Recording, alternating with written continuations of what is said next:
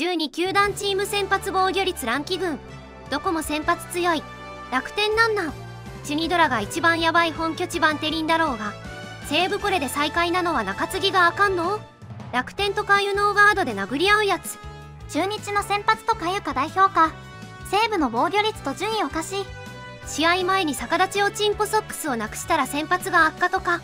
中日この防御率で首位とかやっぱ今年は打線が強いな。バンテリンでその位置にいるチュニドラやばいやろ。いやチュニは打撃のチームだからな。バンドで炎上するチュニドラの素質あるよ。ヤクルトより数倍やばいのって草バンクの先発なんてバンク打線と対戦しないんだから防御率良くなるに決まってるやん。この前の涌井炎上でめっちゃ上がってそう。